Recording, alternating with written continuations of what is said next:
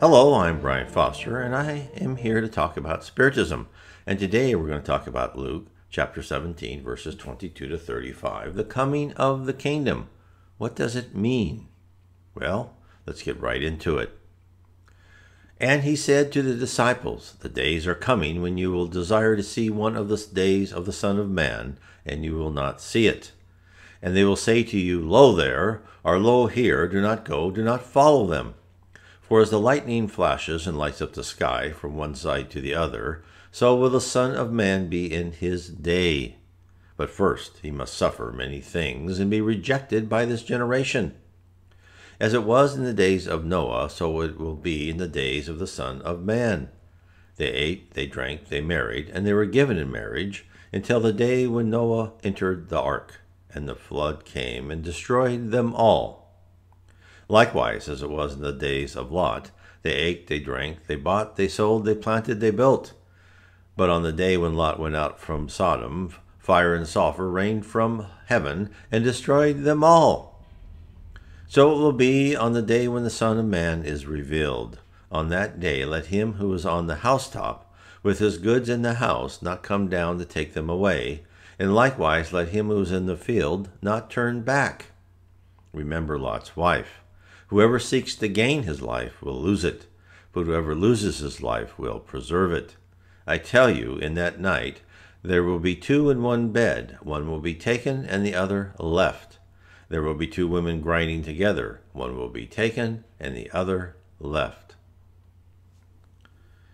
Now, I was always curious about the sentence, Let him who is on the housetop with his goods in the house not come back to take them away and likewise let him who's in the field not turn back. In my younger days, I imagined the people running away from a mushroom cloud explosion, trying to outrun the blast zone. I grew up in the generation where, where once a month we had to hide under our desks in preparation for a nuclear attack. The advice was to flee immediately, take nothing to slow you down. Like many others, I interpret this literally. In the movies, the destruction of Sodom was usually depicted as great energy beams raining down destruction. The people inside the city were dying gruesome deaths, while the select few were fleeing. But right after I had this vision in my mind came verse 33 Whoever seeks to gain his life will lose it, but whoever loses his life will preserve it. In the first sentence, Christ said to run and not look back. But now he seemed to say to accept your death. This made no sense to me. And I could not reconcile it. Two opposing statements the first, an admonition to get out fast, and the second, to lay down your life.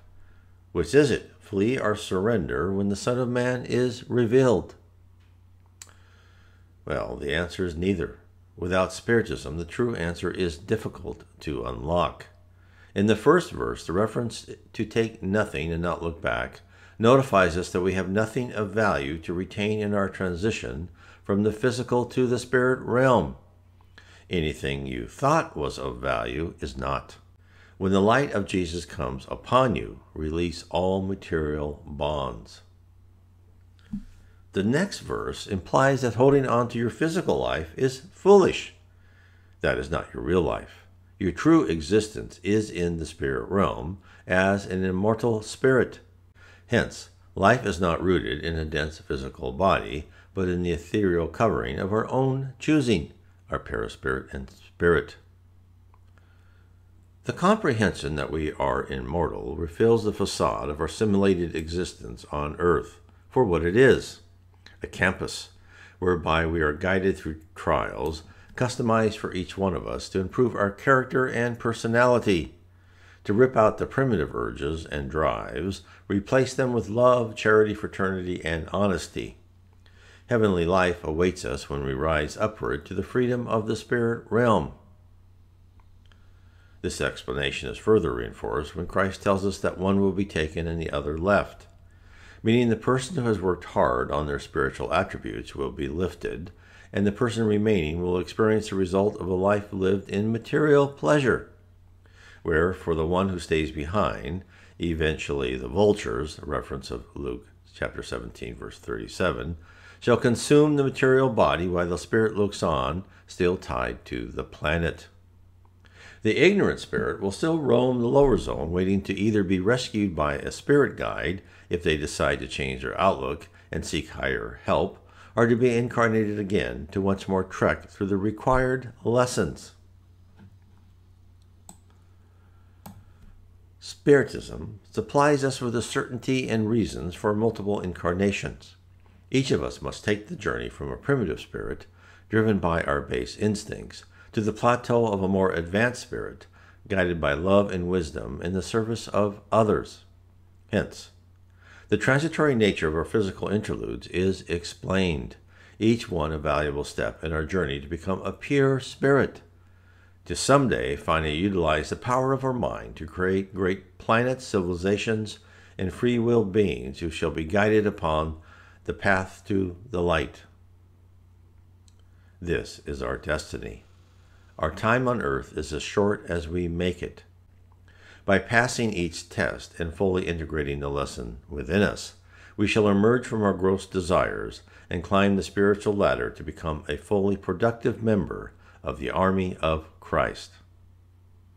If you'd like to learn more, please read my book, The Spirit Realm. It will tell you what is a spirit realm, how the physical realm is a subset of the spirit realm, what are we doing here on earth? We must learn on this campus called Earth. It's our great simulation. How we, when we come back to heaven, how we rise as a spirit, and what is the future of earth and the future of each one of us. God bless.